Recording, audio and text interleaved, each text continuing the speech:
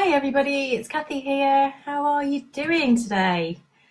So, I wanted to um, in this live stream, I wanted to talk about what's the difference between channeled guidance and intuitive guidance because I'd never even considered there was a difference that um, until I really started doing the channeling and and um, as in like verbally channeling with clients over the last two three months and um, I just thought it would be quite interesting to share that because they there are quite a few differences so if you are joining me live or whether you catch the replay, do say hi if you've got a question or any comments or if you've uh, had some interesting experiences yourself channeling, do please pop a comment in the box. It would be really good to hear how you've experienced things for yourself. So what I'm going to be talking about is just from my experience, because I do think that for everybody who does channeling, it has to be different. We are all unique individuals and we've all got different stories, we've got different experiences and different knowledge, um, different soul missions. And I think that's really important, you know.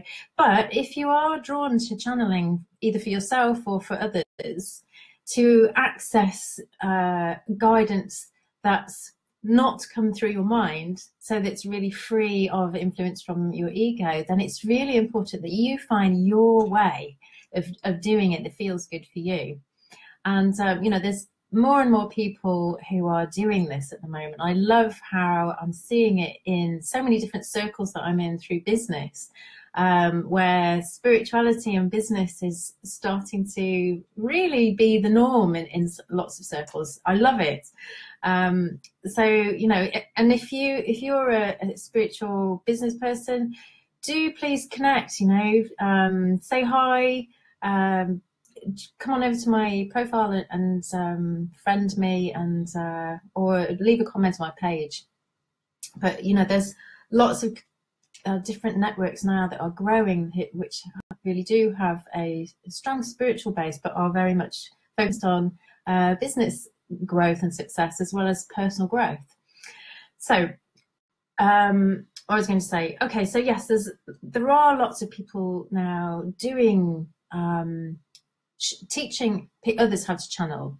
Um, and there's lots of different courses that you can go on, lots of people who um, lots of people who will give sessions, and um, it's all about you know there's there's a lot that you can learn from it, and um, if you're drawn to it, then there's no accident. You know there'll be something about who you are at that soul level and what shapes you in your life that makes you ideal for it. But don't expect to uh, be able to channel like um, uh, Esther Hicks or Darryl Anka who channel Abraham and Bashar. Um, you know, they channel in a really specific way with real speed and such a personality. And, uh, you know, they're very unique, but that's their way. And don't expect to bring through really high dimensional information and technology, technological accuracy about the evolution of the planet and humanity because that might also not be what you're best here to do as a channel. Might not be what you're suited to. And don't expect to have archangels and ascended masters and star beings and recognizable higher guidance um, whose names you might have heard of. Don't expect them to clamour to deliver their messages through you either. Because again, that might not be what is aligned with your soul mission.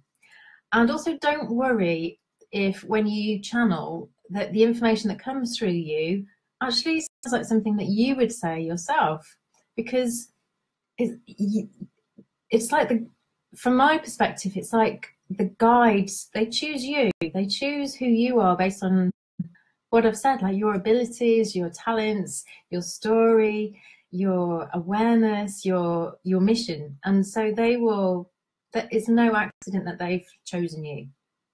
So just play with it. Channeling is a wonderful way of really learning to trust yourself and building a bridge between you and, and the divine, you and divine guidance. So as I say, just play with it, have fun, have no expectations, and just see what happens. So, how I experience channeling is, um, you know, I'm getting results simply by just opening a space for my guides. It's like I step back inside myself. I go into a meditative space and I create uh, I create a space and I step back inside myself and I set the intention for my guides to use my body and my voice and uh, the filters of my knowledge and experience. And I set my intention to bring through whatever is the highest um, possible vibrational energy and guidance for whoever I'm working with. It's not simply information that's delivered through me to just be taken in at head level by someone, uh, which they then have to digest and implement. It's much, much deeper than that. It's about holding someone in such a way that they connect with the power of their heart, with the greatness of who they are, with their own knowing and with their power and with the truth inside them. And uh, it's really enlightening and healing. It's, it's so much more than just information. And it seems like for each person who comes, they get given uh, really bespoke tools to use so that they can take these tools away and use them in their life for their specific situation. When when you can be in this energy and you can sort of experience this somebody holding you in this space or you're in the bubble held in this space, it really means that you get to blast through any sense of self-doubt, any fear, and it sort of pulls it out at the roots. So your story, uh, it just gets transformed and you no longer react in the same way. So you actually get to respond consciously and um, then you get to choose how you want to be. So it's very powerful. And the, the clarity that you receive, it just means that you know, you just know inside what the right steps, the right next steps are for you. So, so that's kind of how I have experienced it when I've been working with clients. And as I say, I've not been, I haven't been doing these kind of sessions for too long, maybe two, three months now of actually verbally channeling. Um, and it's not like any channeled sessions that I've ever received from anyone else. And uh, for a while, I really judged myself that I couldn't do it as I'd expected or, or hoped to, or I just thought I should be doing it um, like other people did. You know, I thought I should be able to channel Archangel Michael or Saint Germain or you know any any of the people, the beings that you might have heard of. Um, and it that just wasn't naturally coming to me and i really compared myself and i just thought i was doing it wrong or i judged myself as less than. But having i kind of parked that and i went ahead with it anyway because i was just having fun i was playing i kept in that energy. When you're playing you're in the energy of possibility and it's um, so much more expansive than the energy of should or being serious. So what by doing that and just holding the space, I the people who came for the sessions it, it, doing it my way, um, they just got such incredible results, and it really, it really surprised me because um, a lot of it felt like it was just me. Um, felt like it was the same kind of information that I might share, a lot of it, not all of it, uh, but it didn't sound quite like me, and it wasn't necessarily using the lexicon that I might use, the words that I might use, and it certainly wasn't using the tone or the um, wasn't really the energy that I might naturally be. So it did feel different from from the inside, watching what was going on. Um, but you know, these results were the most important thing, obviously. So I was able to let go of those concerns really quickly and just embrace my way and um, you know because it just seems to really be working for people. So if you get into channeling just trust that you will find your way. There will be a way that is perfect for you. So i wanted to kind of just share a few of the differences that i've seen? You know if you're curious about what this might the differences might be between uh, channel guidance and intuitive guidance um, these are the kind of these are some of the uh, things that I've seen over the over the last two three months, um, just from my experience. So to start with, channel guidance it, it comes from a, higher frequency. And so it creates a, a much higher vibrational field for the session. The caveat being that you have to specify that in your intention. You know, you don't just assume that you're uh, channeling higher guidance just because you're opening yourself up and you're opening up your field to bring through non-physical guidance, non uh, information from from non-physical beings. You know, get proper training. Uh, so that you don't leave yourself open to parasite entities that have their own agendas um, because they will attach to you. It's like you're um, when you're in that space and you're connecting and you're opening up, you're like this light in the darkness, like and um, and like moths get drawn to you, like moths, like what am I saying? It's like moths being drawn to a light. You know, that's you're shining that brightness of who you are in the darkness, and you just unless you specify and create very clear boundaries by stating what energies you are and aren't willing to accept into your energy field, i.e., only the highest vibrational energy available and no energies lower than your own vibration, uh, then entities can actually attach to your energy field and they can start to really drain your energy. And this might show up in your life as, as just things that just whatever you do don't seem to be working out. I, I had one uh, I had a, a, psychic surgery that it took about two hours for two people, two shamans were working on me to to release this thing that had been in me for a number of years. Uh, and I can quite understand how it had got in because I didn't know about this at the beginning. We were playing too much, and um, I hadn't been kind of properly trained um, with what I was doing. So uh, they managed to re- release this energy. It was stuck in my base chakra. And I swear to you, I felt like I was sitting on a washing machine. The energy was that strong as they were working on me. These, and it was a distance healing, but it felt so physical.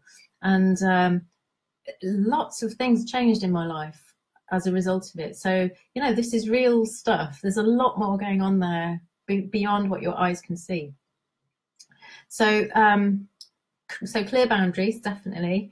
Uh, and often the guidance the guidance for, uh, that's channeled it's uh, when it is higher vibrational guidance is often delivered in, in a manner that isn't like i said before it's not how i would normally speak. Um, it doesn't use the words that i might use and it sometimes even gives guidance that my mind would uh, you know be questioning. I think the first time i did it when i was being interview my guides were being interviewed on a, a podcast by an interviewer. And the, the, the guidance that was coming through me or the entity that was speaking through me it was saying talking about things that i didn't even agree with. And um, but i just kept talking. And that was kind of it was really helpful to know that i was actually channeling that rather than just speaking what i i thought um, or believed because uh, I, I I could feel the fight going on inside me. But and um, you know, but sometimes that happens. Uh, and another difference with channeling is that you don't really need any background information before in advance. You know, before someone comes to you. So intuitive guidance, on the other hand, it's um, it's more delivered via the filter of your personality before it's expressed. So for me, it's like it, it, it when I connect intuitively, because I work with clients intuitively as well. Um, it's like I'm tuning into higher guidance, but I've also got over 25 years of spiritual development experience and and knowledge, and it's like um, I can tune into that, and by coming from that place, that I can, I'm much more able to create empathy with a client. It's like I'm there with them, me, my personality self. And so it creates that connection and there's a more of a, an understanding about where someone is on their path and a sense of that connection. So um, yeah, so when I'm just using intuitive guidance, it's uh, it, it tends to be softer, more gentle because that's me, that's my personality traits. Um, it feels like me, and it's just using my normal speaking voice, obviously, and um, it, it, it really also it helps me to have a little bit of background information about where someone's at before we start, where they're at, where they want to get to. So that's part of uh, some of the differences. Another difference with higher uh, with channeling is that there's no thought involved. It's um, if the intention is to bring through the highest vibrational support possible, and then you step out of the way, and um, it's just about speaking whatever comes. It sort of bubbles up for me. It just bubbles up from inside, and I just open my mouth and, and say whatever comes into my. It doesn't even come into my head. It just comes out. It it, it passes my conscious um, thought really. Uh, and there's no conscious interpretation, uh, no need for me to understand, and there's no attachment to how it re- how it's received, and that's I think that's really important. That's a really important difference. I just trust that however it comes out is perfect, and it's the perfect way for the client to hear it. And if it triggers something in them, then uh, you know that's perfect too. That's because it brings it's bringing something to the surface that can be released, and that's what we are then there to work on in the session. Alternatively, when you um, when intuition comes in, it's often uh, processed and interpreted internally, uh, and you kind of go. It sort of slows it down a bit, slows down the process because you when you're taking it in, you're um, deciphering the meaning, and then you're converting it into words, and you get a feel uh, of where the client is at, and, and it's about being able to communicate those words in a way that you believe or feel or think that they will most get them. So it, it does really, uh, it changes the vibration and it sort of slows it and it steps it down to some degree. And also, you know, as a, as a, a guide or a coach doing and giving intuitive guidance, sometimes you might get, depending on who the client is, or your own stuff that's being triggered by what's been coming up, you might have some attachment to receiving it and up to, to them receiving it. And, um, you know, some of your stuff might get in the way. It colors the information a bit, um, especially if you might have something around wanting to wanting to stay connected, wanting to be liked, wanting to be respected and valued. You want to make sure that you're doing a great job, or you know that that what's coming through is is uh, working for them. So you know, with with channeled information, none of that gets in the way. So also, it, when I'm channeling, uh, it's my personal intention that higher soul level information is being asked for. That's what I'm asking for. And that might not be what the client's asking for. Um, it might not be what they're wanting to hear or what they expect to hear. And uh, but it is what will get them into alignment with their soul's path in the most direct and efficient way. But it might not be a comfortable way. It might be something that they find very challenging uh, and it and it will raise the ego to kind of try and hold hold you out. Um, but the thing is with channeled uh, this uh, channel guidance or energy it doesn't let people stay in their story. You know, it sees through the ego stuff, all that BS that the ego brings up, all the ways it tries to avoid. It just doesn't stand a chance. This is such direct, clear, uh, strong energy, and it's such a really. Um, it, it takes the it, it just lifts the lid on what the ego is doing, so you really get to see it. So, and it can be very forceful, it can be dynamic, very assertive, when necessary. It, it can also be very gentle, uh, but it won't let the ego maintain its power or resistance. And it comes across in a very detached way. So it's, it's much faster. On the opposite side, intuitive guidance may come across as less assertive, but it does create a much sense, uh, a much greater sense of connection and support.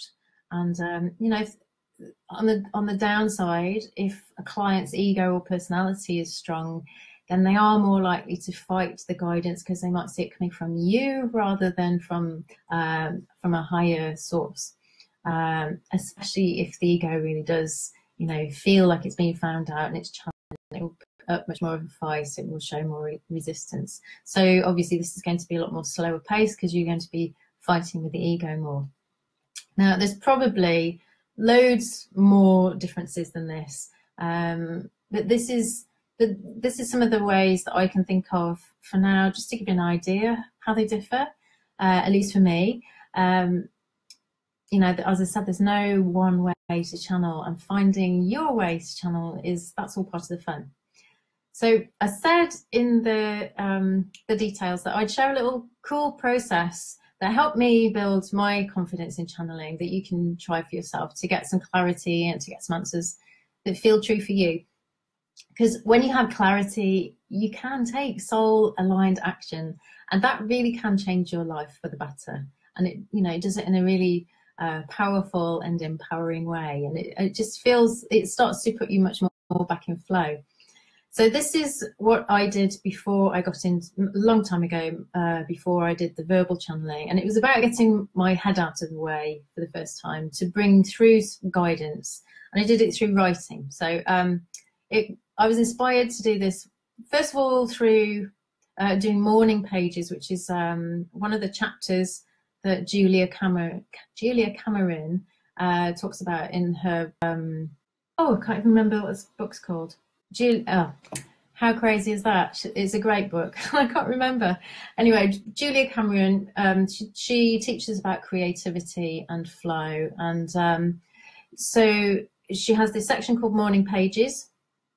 Morning Pages is essentially a way of just it's stream of consciousness writing where you choose you choose to write three pages of just writing straight from your head uh, you don't censor it. You, you, if you can't think of anything to say, you just write. I can't think of anything to say.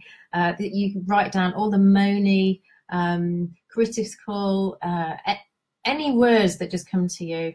You write all of that out. You just pour it out on the page, and you just don't censor it. And after uh, a few days, uh, you know, if you're in a really sticky place, it really helps to get all of that junk out of the way. And then underneath it, you tend to have um, much more deeper creative thoughts that comes from a higher place. So I'd been playing with this because it's a great way of just writing from the flow and not holding back. Um, and then I thought, maybe you've heard of the book um, or the series of books called Conversations with God by Neale Donald Walsch. So uh, in this book, Oh, thanks, Elle. It's The Artist's Way by Julia Cameron. Thank you. um, Neale Donald Walsch, he was, uh, I think he, he's, he's a Christian and he used to have conversations with God and felt uh, guided by him. But then it, it got to a point where it seemed like his guidance or his connection stops and he got into a really low place. And at one point, he then started uh, writing, and he'd you know be moaning. He'd be mo- writing down questions, saying, you know, why have you deserted me? Where are you? And what, uh, you know, I guess he was pouring out his heart, and um, he when he started writing, he found the answers were then coming through his pen and he created a process where he would write a question and then god or his sense of god would write the answer. And so he created this Q and A series, and he did it over a number of different books. And um, so I I was really familiar with that series, and I just thought, well, I, that could be a really fun thing to try. And so I started um, doing it myself in my journal. So I because I'd practiced already that sense of uh, free writing. And what you do is you uh, so you get into a nice relaxed space, maybe light a candle, uh, make sure you're not going to be disturbed. And you just set an intention to connect deeply with your inner guidance and make the space sacred. So it's important, you know, it's time for you to connect deeply with yourself. So first of all, you, what you do is you write your name and you write a colon. So Cathy colon, and then you write your question. So for example, um, what do I have to learn from XYZ situation? Who who do I need uh, to be in order to create X Y Z in my life? Uh, what is the higher purpose of such and such going on in my life right now? Uh, why am I so triggered by so and so right now? And what do I have to learn from him or her? And so you write the question, and then after the question, you write the um, whether that it might be God colon source, the universe, your guides, whatever is the right uh, name. Uh, so you write that, and then again, you step back out of your head, you get out of your own way, and you just start writing. And, um, you know, it might be, you might feel stuck at first, so just write anything. But then because your intention is that you're connecting with, with higher guidance, you'll find that it starts to come out through your pen on the paper. And um, you know, just you, as long as you set your intention to connect only with the, the highest vibrational guidance available, that's what will come through you. And it just it, it what I've discovered was that very wise, loving advice uh, and words that were much more generous and kind than I might have used towards myself came out. You know, so I realised I just I wasn't just inventing it. Uh, it wasn't just coming from my head, and it felt very amazing and deeply honoring the kind of things that I was writing. So have a play with that. It's a it's a really powerful little tool to use for, for your journaling. It's another way of doing journaling. And it should give you um, some really good, clear guidance if you've got some difficult things coming up or you're feeling stuck or lost. So do try it. Um, and if you would like to try a channeling session or have a series of sessions, I've still got my um, half price channeling summer sessions happening at the moment. So um, you can find some more information about that at cathyballard.com forward slash channeling offer, channeling hyphen offer. Um, I'll put the link in the um, in in the description. Um, but, but, just as an, an, example of how this can go, like yesterday, I had a session with a client and uh, she wrote a testimonial. I just noticed it on Facebook a few minutes ago. And she says, after a very emotional and brilliant channeled session with Cathy yesterday, I've had the most splendiferous, authentic day today with my new angel companion, Amos. so we connected her to um, her higher guidance, which she had never knew she could do before. And it came through and it's, it just opened her up to being able to feel it and to trust uh, that she was supported because she felt really alone at that time. And she uh, by connecting with her higher guidance it sort of made her feel that she wasn't doing this this um, this life on her own and that she has that uh, support and guidance with her all the time. Um, so today she said she she felt really comfortable. She was going for uh, creating a putting some proposals into a new big potential job and she got two. She's been asked to submit two new proposals, which she's really excited about. So it turned out to be a really exciting, powerful day for her, based on just a whole bunch of things that we shifted in her energy and her limiting beliefs that we shifted, and some emotional blocks that she had, and um, beliefs that things were possible. So these are all the kind of things that can come up, and a lot of it's to do with, um, if you know, if we go the, the information will come through, you can ask questions, but then quite often it will take you into some kind of um, healing or energy clearing around your uh, childhood. Sometimes it might be past life stuff. Uh, it could be anything that comes up really. And then you get given a whole bunch of different tools to be able to manage uh, and move forward so you feel empowered and you, you just come away with a sense of everything is possible and we really connect you into your vision of, of what you want for your life that feels really aligned. So if that sounds like something that you'd be interested to, to um, experience, do get in touch. It would be lovely to do a session with me, with you, uh, a real honor. So if you've got any questions now, just do pop them in the box. And uh, otherwise, I shall be back next time and uh, I look forward to seeing you then. Thanks for joining me. Bye for now.